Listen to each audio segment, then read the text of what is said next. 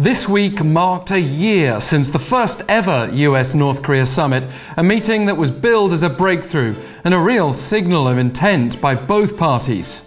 But doubts surfaced in the aftermath of that Singapore summit, and more so since we saw that follow up meeting in Hanoi between President Donald Trump and North Korean Chairman Kim Jong un.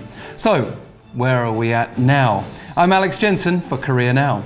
The situation may be summed up by the North Korean embassy in Singapore's decision to postpone an event that had been due to celebrate the anniversary of the Trump Kim summit this week. Invitations had been sent out before an email the night before said the event was being postponed for unforeseen reasons. The US Embassy is understood to have had no plans to join the event even if it had gone ahead and it doesn't seem like much of a stretch to suggest all's not well. The North's state media demanded this past Tuesday that the US withdraw its hostile policy, or else the agreement reached in Singapore last year is at risk of becoming a blank sheet of paper. The statement cautioned there is a limit to Pyongyang's patience. And this was just the latest in a series of warnings from North Korea since the breakdown of talks in Hanoi in February. You may recall Chairman Kim gave Washington until the end of the year to change its stance.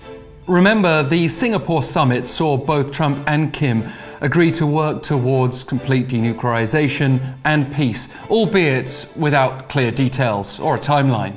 But even aside from recent short range launches, the North's first missile test in 18 months, Pyongyang has been possibly expanding rather than shrinking its nuclear weapons program. Within days of last June's Singapore summit, the US Monitor 38 North detected signs that North Korea was rapidly improving its nuclear research facility. There were reports also of North Korea increasing production of nuclear weapon fuel and raising uranium enrichment. By August, a UN report stated the North was still developing its nuclear program against sanctions. That said, Pyongyang is only pushing the US to a point, and leading analysts suggest the aim is to stay in Trump's thinking and to pressure some change in Washington's calculus. Certainly, Trump and Kim have been very careful not to directly upset each other. The US president insisted again this week he and Kim have a very good relationship and that he got a letter from the North Korean leader on Monday. Trump said he thinks something will happen that's going to be very positive. It is the first known correspondence of its kind since the two men's summit in Vietnam, and they appear willing to hold another meeting, but not unless one or the other is willing to compromise. American officials keep stressing their goal to completely denuclearize North Korea without offering sanctions relief until that has been achieved. The North, for its part, wants a step by step approach with concessions offered by both sides. Part of the disconnect is probably because of a power imbalance, but mainly it appears there's still not enough trust. The Trump Kim dialogue process has been back to front, a top down approach that's left finer details until after big proclamations.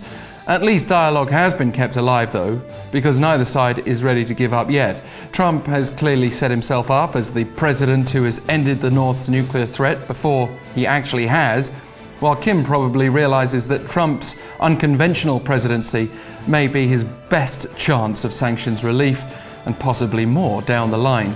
We can think back to before Singapore, when there was a real threat of conflict, and we can still say that the very fact there was a first US North Korea summit remains hugely significant.